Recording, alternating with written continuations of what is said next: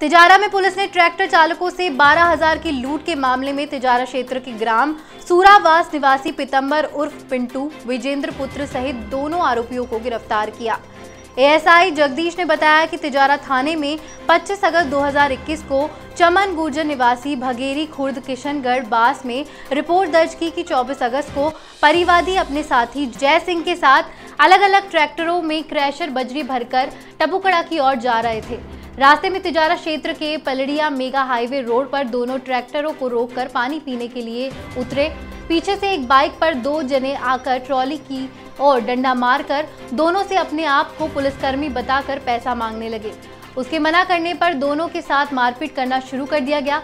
दोनों पीड़ितों ने बारह हज़ार छीन कर अपनी बाइक को लेकर फरार हो गए, जिस पर रिपोर्ट दर्ज करके तलाशी कर दोनों को गिरफ़्तार करके अदालत में पेश किया जा रहा है।